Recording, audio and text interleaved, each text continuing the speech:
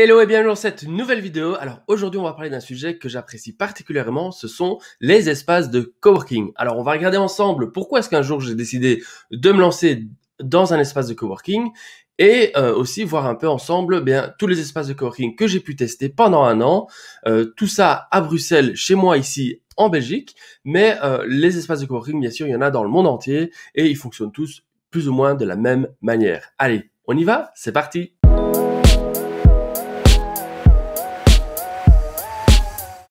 Hello, moi c'est Kevin et donc aujourd'hui j'ai envie de partager eh bien le sujet euh, du coworking parce que quand on est freelance, euh, l'espace de coworking est une opportunité pour augmenter le nombre de clients, rencontrer plein de gens et faire en sorte d'avoir un espace sympa où on va pouvoir inviter ses clients. Alors, pourquoi est-ce que un jour j'ai décidé de rentrer dans un espace de coworking? Eh bien, c'est parce que je travaillais à la maison, donc euh, peut-être comme toi aussi aujourd'hui, et ça me plaisait euh, plutôt bien jusqu'à un certain moment où je me suis dit ah j'ai envie de rencontrer des gens, j'ai envie d'essayer euh, un espace de coworking. Et pour pour voir un peu comment ça fonctionne, c'était assez sympa, c'était en, en, 2019 quand j'ai commencé et en tant que freelance à 100% et donc du coup j'ai vu qu'il y avait, enfin c'est ma femme d'ailleurs qui avait vu un espace de coworking pas loin de chez nous et je me suis dit bah tiens c'est l'occasion de tester. Alors souvent les espaces de coworking, ce qui est chouette c'est que tu peux tester gratuitement une journée voire même parfois une semaine et ça permet de familiariser, voir un peu si c'est facile le matin pour y accéder. Est-ce que euh, voilà l'endroit te plaît, est-ce que l'ambiance est bonne, est-ce que tu vas pouvoir rencontrer d'autres gens ou chacun est dans sa cellule. Bref, c'est vraiment un bon moyen de tester les espaces de coworking. Et donc moi, quand j'ai euh, vu qu'il y avait moyen comme ça de tester les espaces de coworking, bien sûr j'en ai commencé par un et puis je me suis inscrit. Et puis je me suis dit, bah tiens, euh, comme j'ai mon portable et que je peux travailler d'où je veux, je vais m'amuser à tester des espaces de coworking. Et c'est ce que j'ai fait donc pendant quelques mois. Euh, j'ai essayé de faire un espace de coworking euh, toutes les deux semaines plus ou moins. Et au total, j'en ai fait donc exactement 8. Il faut savoir que quand tu te déplaces et que tu travailles dans un endroit euh, tout à fait nouveau, c'est toujours tu es moins productif parce que tu es là pour découvrir, pour voir un peu comment ça se passe. Donc du coup, il y avait comme ça des moments où euh, j'étais moins productif parce que justement je testais les espaces de coworking. Mais bref, on va pas parler de ça maintenant. Euh, moi, ce que je veux te dire, c'est que euh, surtout, n'hésite surtout pas à les tester et ne sois pas gêné de tester les espaces de coworking. Il y en a probablement un près de chez toi. Il suffit de prendre le téléphone ou d'aller sur leur site, réserver une journée test. Et bien sûr, on va te proposer de de passer à une formule payante, mais tu viens juste pour t'informer, teste. La principale chose à, à faire, c'est vraiment de juste tester le truc et de voir si ça te plaît ou pas. Après, tu décides si tu veux y aller. Ensuite, euh, une fois que j'ai donc euh, pu tester ces espaces de coworking, j'en ai fait quelques articles. Et donc je m'amusais à faire à chaque fois un article sur différents points. Et donc je les ai repris ici, sur cet article qui est beaucoup plus long, mais qui reprend chaque fois aussi les mêmes points que je m'étais amusé à prendre. Donc ça veut dire, la, le premier c'est la localisation. Donc d'abord, est-ce que l'endroit est proche de moi, facile d'accès, est-ce qu'il n'y a pas d'embouteillage, etc. etc. Est-ce que facile en transport en commun également. Deuxième point, ce sont les locaux. Donc à quoi ressemblent les locaux? Est-ce que c'est ouvert? Est-ce que chacun est fermé dans, une pièce Est-ce qu'il y a des espaces de partage. Donc ça, c'est aussi un point très important, je trouve. Ensuite, est-ce qu'il y a des espaces pause, euh, détente? Donc, est-ce qu'il y a une petite cafétéria? Est-ce qu'il y a une un endroit où on peut euh, se divertir Est-ce qu'on peut euh, sortir facilement, se promener, revenir Et alors aussi, point de vue opportunité. Est-ce que l'endroit du coworking, parce qu'il faut quand même se dire que on va dans un espace de coworking pour discuter, rencontrer des gens, etc. Mais il faut savoir que tous les espaces de coworking regorgent d'autres entreprises, d'autres startups, ça bouge beaucoup. Et donc, éventuellement, potentiellement des nouveaux euh, projets. Donc voilà, j'ai aussi euh, donc parlé de ces points-là. Et donc dans l'article en question, je, je fais le tour de huit espaces de coworking et je décortique pour chacun d'eux, eh bien ces différents critères que j'ai mis en place. Alors aujourd'hui, on va les parcourir ensemble brièvement, mais je t'invite à aller lire l'article et voir un peu quel genre ou quel type de coworking tu préfères. Euh, dis-moi dans les commentaires. D'ailleurs, j'ai même mis un petit sondage pour savoir si, est-ce que toi, par exemple, est-ce que ça te plaît, est-ce que ça te plairait? Euh, d'aller dans un espace de coworking pour rencontrer des gens, pour euh, avoir plus de projets, etc. Ou tu te dis non, moi finalement j'aime bien rester à la maison, je suis tranquille, j'ai pas besoin de voir des gens. Moi j'ai euh, mes amis sur euh, les réseaux sociaux, j'ai les clients sur les réseaux sociaux et donc moi ça me va, j'ai pas besoin de voir du public. Dis-moi ça dans les commentaires, c'est vraiment intéressant pour moi et puis c'est intéressant de, de, savoir ce que tu en penses toi aussi de ces univers de coworking. Donc, premier espace de coworking. Alors, c'est un espace de coworking qui dispose de plusieurs espaces de coworking en Belgique et ailleurs, je pense, aujourd'hui. Donc, ça se développe assez bien. Et donc, ici, c'est un espace de coworking qui est vraiment concentré au centre-ville. Et euh, comme moi, j'ai une voiture et que les transports en commun ne sont pas spécialement pratiques là où j'habite, donc je dois de toute façon prendre ma voiture jusqu'à un certain point. Et puis là, éventuellement, je peux prendre le transport en commun. Mais donc, moi, j'y allais en voiture parce que c'était tout simplement plus facile à ce moment-là.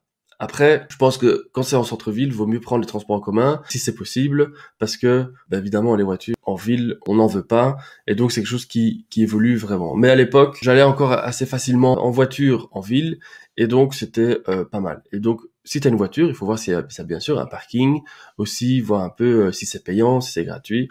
Euh, J'avais aussi la voiture pour aller voir des clients parce que je me déplaçais du coup de l'espace de coworking vers le client. Voilà, aujourd'hui tout ça a changé, on est tous euh, en, télétravail. Les rendez-vous finalement, je les prends tous aujourd'hui euh, en ligne, mais à ce moment-là, c'était quand même le moyen le plus simple pour aller chez les clients. Donc la localisation était chouette, c'était au centre-ville, euh, les locaux sont, étaient super beaux, c'était de la belle déco, c'était des espaces ouverts, euh, assez modernes avec des, des, fauteuils colorés, des cadres aux murs modernes, etc. Bref, c'était vraiment très très beau, une belle déco et tout. Et ça, je trouve quand même c'est important d'avoir un lieu qui soit euh, design, euh, graphiquement adapté à notre métier. Donc ça, je trouvais ça vraiment très chouette, très très chouette. Ensuite, euh, pause détente, ben là, il y a deux choses dont il faut tenir compte selon moi. C'est de un, est-ce que la machine à café est là et est-ce que c'est du bon café? Donc moi, je suis à amateur de café, donc moi, c'est important d'avoir du bon café. Et puis aussi, est-ce qu'il y a cet espace détente où tu peux tout simplement t'installer et euh, discuter avec des gens tranquillement sans déranger les autres qui travaillent? Euh, idéalement, c'est d'avoir des espaces pause, mais tu sais, il y a parfois des alcôves où tu peux t'installer, travailler et en même temps avoir une petite cafétéria juste à côté parce que ça fait du bien tout simplement d'avoir du monde euh, qui bouge et tu peux toujours rester concentré. Et si ça t'ennuie, tu mets tes écouteurs et tu, tu te mets dans ta bulle pour vraiment être concentré. Mais parfois, on travaille bien aussi dans des cafés. Et puis, donc, le bruit, ça dérange ou pas. Ça dépend des personnes. Ça dépend si on préfère avoir vraiment le silence absolu ou si un peu de bruit euh, ne fait pas de mal. Euh, bien sûr, la machine à café est importante, donc pour moi, je faisais directement la sélection si le café était gratuit, si euh, le café était fait avec des grains qui, est, qui étaient moulus par la machine elle-même. J'évitais absolument, et ça, je suis un grand critiqueur des capsules, de toutes ces capsules de toutes sortes, parce que pour moi, c'est pas du café, c'est vraiment, c'est pratique, ok, dans le côté euh, organisation, etc. Mais finalement, le choix des goûts, des couleurs, une fois que tu as un bon café, tu gardes le même pendant euh, des mois. En tout cas, c'est comme ça que moi je vois les choses. Moi, j'aime bien de temps en temps changer de grain parce que j'ai une machine à la maison du coup aussi. Par contre, euh, c'est tout c'est du grain à la, à, la tasse. J'ai pas besoin d'emballage, j'ai pas besoin de qu'il soit déjà prémoulu, etc. J'aime pas du tout. Donc moi, je suis assez sévère pour ça. Donc moi, il y avait des espaces de coworking où juste pour la machine à café, je savais que j'allais pas aller à cet espace de coworking. Donc là, pour la petite anecdote, ici, le point euh, négatif de Silver Square, c'est qu'ils utilisent les, les Nespresso, les pastilles Nespresso, et ça, j'aime moins personnellement. Donc voilà. Ensuite, par contre, tu vois, euh, point de vue opportunité, ça c'est quand même très important, c'est un axe qui euh, faut, faut pas négliger, c'est est-ce que l'espace de coworking propose des événements régulièrement? Les événements, faut savoir que les événements, c'est vraiment une super opportunité pour toi de rencontrer des gens, de euh, discuter avec d'autres entrepreneurs et de proposer tes services en même temps. Moi, je t'avoue que j'ai eu quelques projets signés tout simplement en assistant à des événements gratuits que ce soit les espaces de coworking ou même tout simplement des événements, j'ai clairement pu signer des chouettes contrats gratuits. Enfin, je veux dire, sans devoir payer de pub, sans devoir, euh, je sais pas, j'allais à l'événement, je passais une journée, je m'amusais en plus, et en même temps, je, changeais des cartes de visite et je me faisais des clients comme ça. Moi, ça a très bien marché comme ça. Donc, les opportunités, là, à Silver Square, faut dire qu'il y a beaucoup d'événements. D'ailleurs, je t'ai dit qu'il y avait plusieurs euh, endroits en Belgique. Et donc, ce qui est bien, c'est que quand tu prends un abonnement pour un Silver Square, tu as accès à tous les autres Silver Square. Ça veut dire que tu peux assister à tous les événements aussi.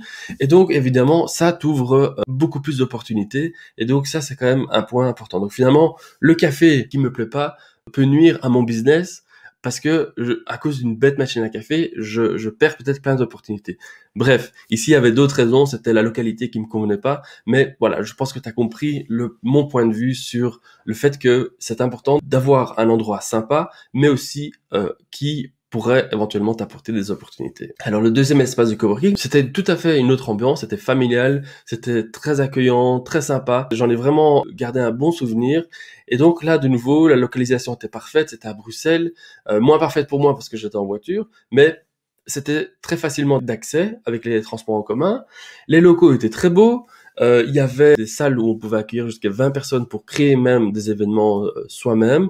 Donc ça, c'est important aussi de savoir est-ce que tu vas, toi, pouvoir créer des événements parce que ça va animer le coworking, ça, ils aiment bien.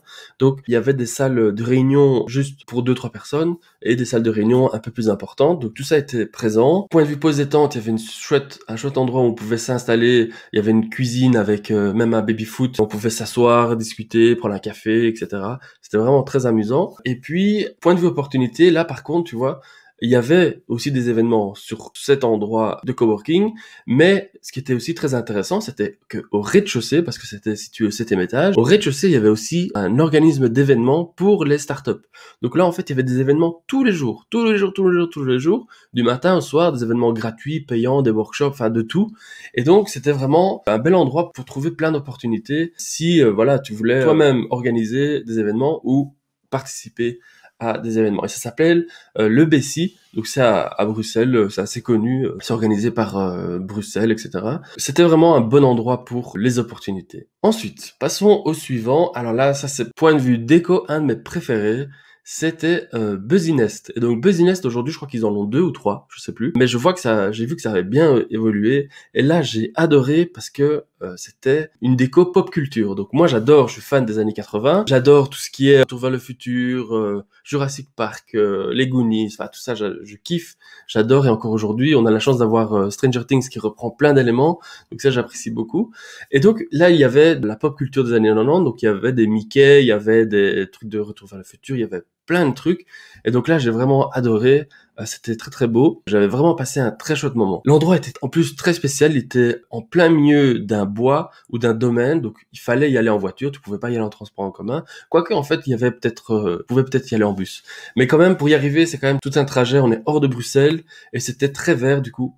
Par contre, donc tu pouvais sortir et faire ton petit jogging dans les bois et puis continuer à travailler. Il y avait des douches, tu pouvais, euh, voilà, il y avait du parking, etc.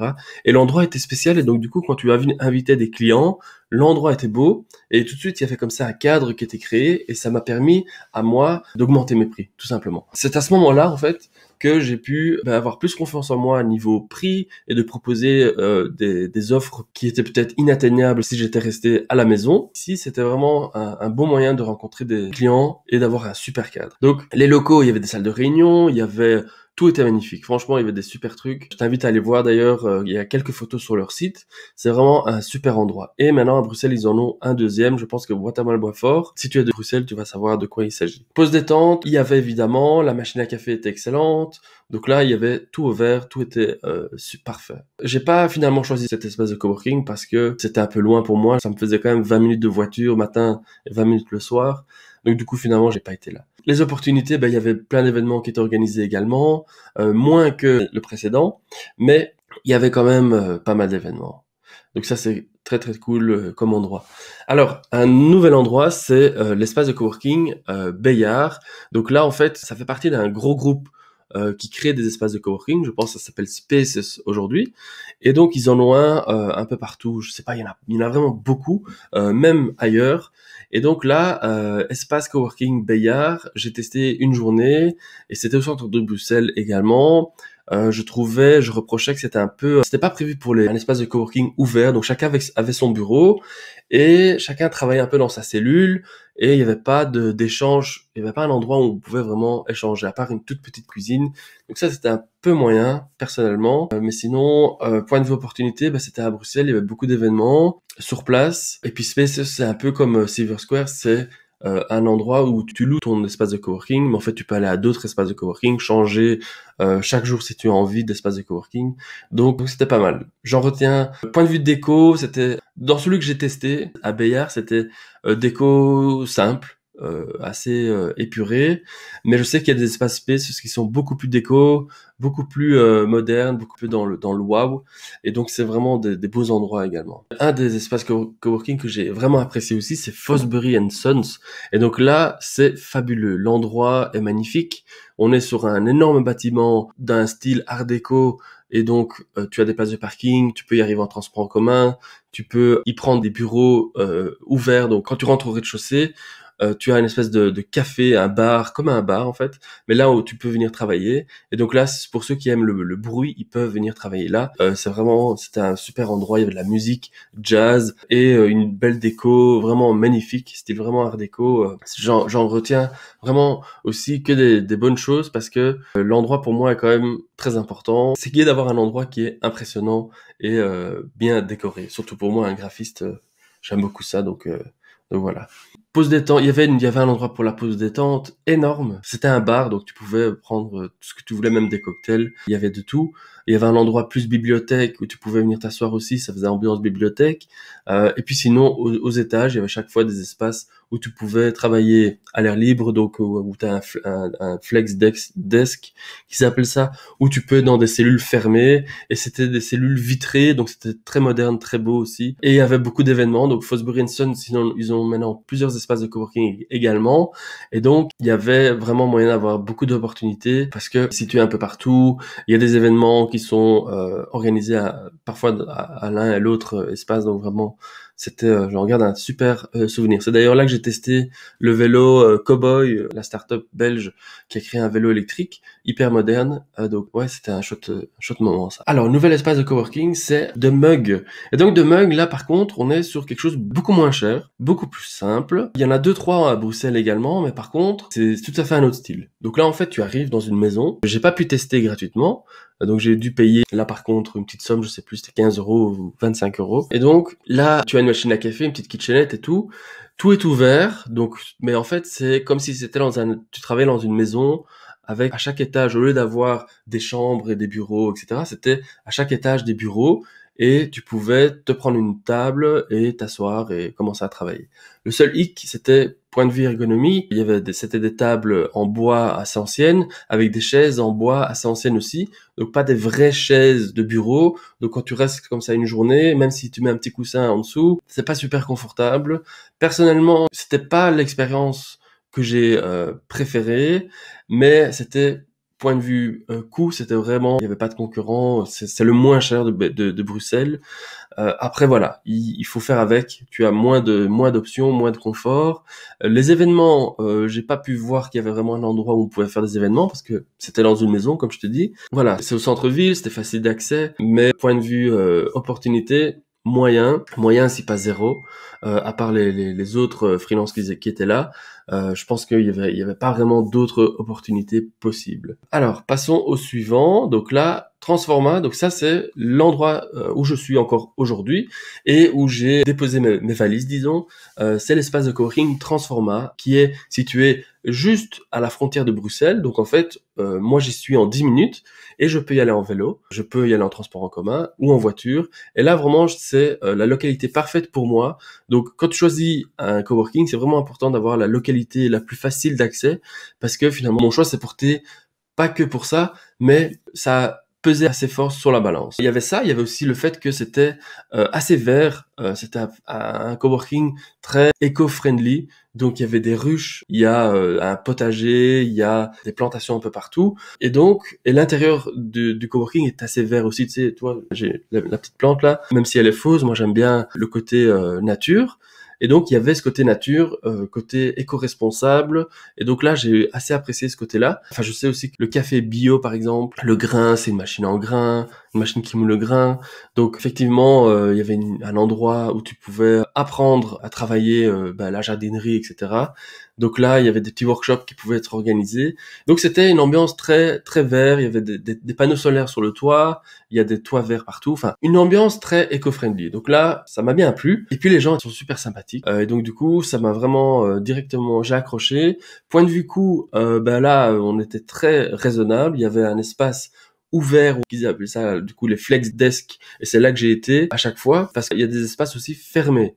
Alors les flex desk, moi j'aime bien, il y en a qui aiment pas, mais moi j'aime bien parce que tu viens avec ton ton ton ordi, c'est ton matériel, tu prends ta place sur le bureau et en fin de journée tu emballes tout et tu pars et le lendemain tu arrives à l'espace de coworking et tu vas peut-être pas pouvoir t'asseoir au même endroit, mais il suffit de s'asseoir à un autre endroit. Et en fait, si tu as bien, si tu t'es bien organisé, moi j'ai un sac avec deux trois choses, un, petit pied pour pour mon écran, j'ai mon clavier, ma souris pour être à l'aise, etc.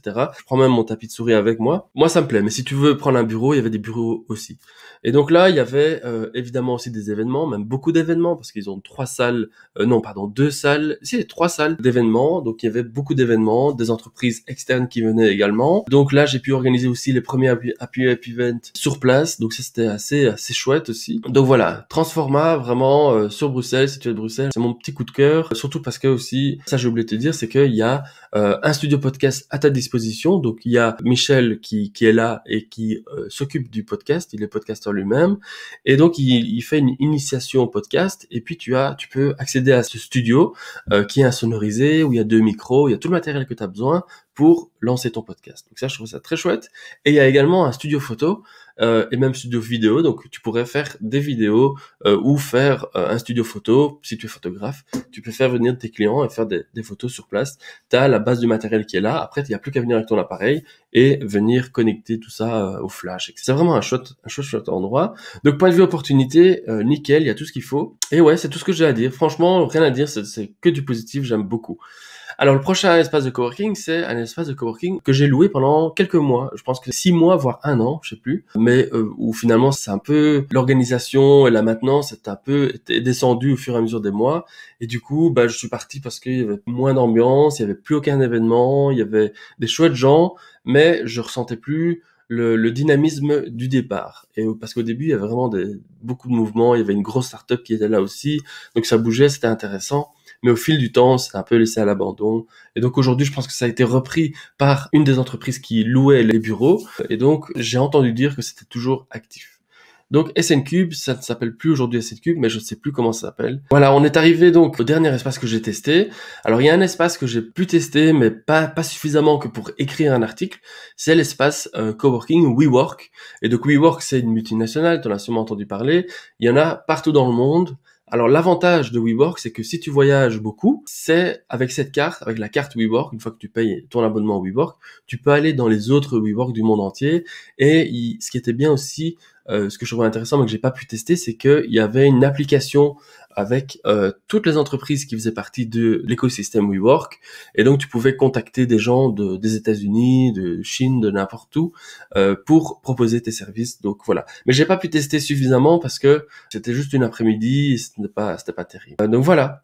J'ai terminé cet article. Euh, voilà, je t'ai fait part de mes différentes expériences. Donc il y a chaque fois les points importants.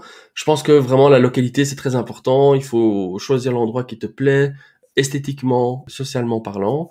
Et donc voilà, si ça te botte, si tu as envie de, tester un espace de coworking, il faut absolument pas hésiter de demander de faire une journée test parce que les espaces de coworking, en plus aujourd'hui avec euh, tout ce qui se passe, il y a moins de monde dans les espaces de coworking. Moi d'ailleurs ici, ça fait plus d'un mois que je travaille à la maison, mais euh, l'espace de coworking me manque évidemment aussi. Il faut pas hésiter à tester les espaces de coworking. Ça c'est vraiment ce que j'ai envie de te dire. Donc là, je me suis amusé, c'était très chouette. T'es pas obligé de tester tous les espaces de coworking pour en faire euh, une décision, mais euh, regarde un peu autour de toi s'il n'y a pas deux trois espaces de coworking et teste-les. Je pense que c'est une belle opportunité pour rencontrer des gens, avoir des nouveaux projets, des projets plus importants que de rester à la maison. Après, voilà, tout peut très bien fonctionner en restant tout simplement à la maison, mais je trouve que les espaces de coworking apportent ce petit plus euh, à notre travail et le, côté social, euh, le côté, moi j'aime bien euh, rencontrer les gens, discuter, m'asseoir, euh, parler autour d'un café. Et donc là, quand on est à la maison, malheureusement, c'est pas, c'est pas toujours possible. Après, voilà, à toi de décider. J'espère que cette vidéo t'a plu. N'hésite pas à laisser tes commentaires et répondre au sondage que je t'ai proposé. On se voit à très vite pour une nouvelle vidéo. Je te dis à bientôt. Salut, ciao ciao.